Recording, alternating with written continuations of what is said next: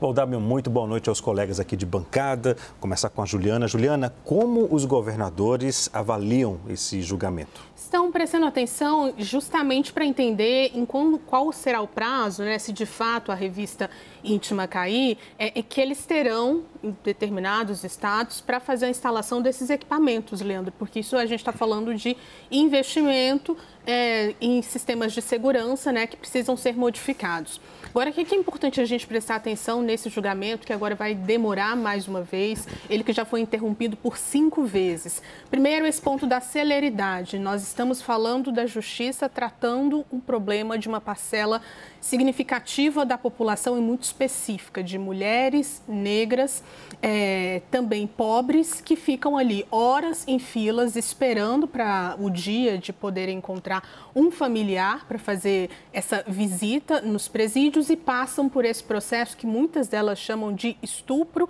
institucionalizado, que é um processo muito violento para a dignidade sexual dessas mulheres. Eu trouxe aqui alguns dados de uma pesquisa, chama Revista Vexatória, uma prática constante. Uma pesquisa que foi feita em 2002 e ouviu mais de 400 famílias, mais de 400 mulheres, inclusive, sobre esse procedimento, que passavam por esses procedimentos. E teve um relato, Leandro, que me chamou muita atenção, de uma mulher da Bahia que diz exatamente o seguinte o procedimento é abrir as partes e forçar até sair um pingo de urina. Se não sair, não pode entrar na prisão para visitar o familiar. É vergonhoso, mas se isso eu não fizesse isso, eu não visitava o meu familiar.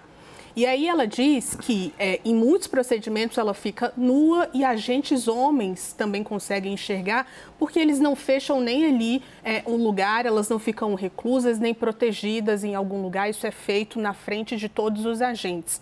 Tem ministro nesse julgamento que diz que, olha, é melhor que a gente reforce procedimentos, mas que não tire a revista íntima.